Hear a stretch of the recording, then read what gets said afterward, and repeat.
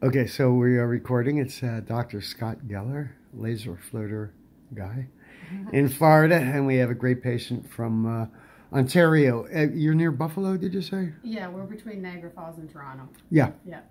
Near Buffalo. And you had a, uh posterior vitreous separation how long ago? Four years ago. Yeah. And since that time, what were your symptoms? Uh, since that time, I was seeing a lot of floaters, a lot of haziness, a lot of cloudiness. Mm-hmm. It was uh, getting very difficult to concentrate.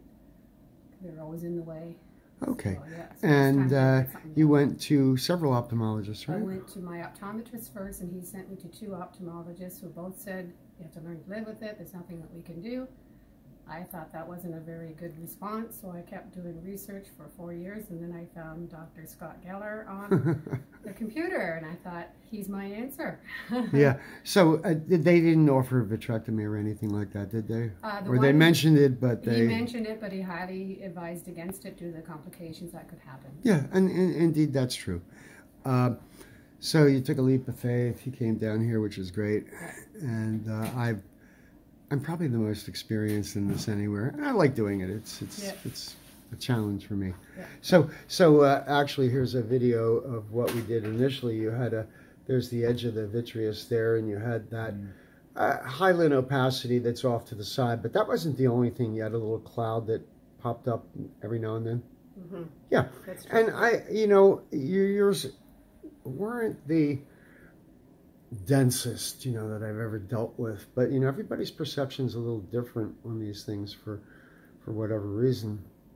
And uh, I did what uh, the, first laser session was fairly dramatic, you Mhm. say, and, and Yep. the second one incrementally was a little less. Yep. And we did we did four. I just went after a few little spots. Okay. You always have to go after the. Uh, that's a hyaline opacity, so you always have to go after a little debris that might escape.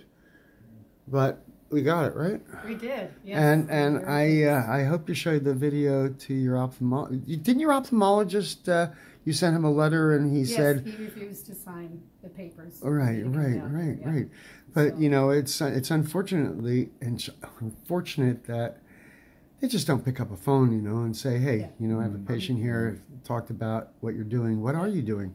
How do you do it? Does it work? Does it not work?" Well, obviously it works. You got to ask the patient. This is not a placebo effect.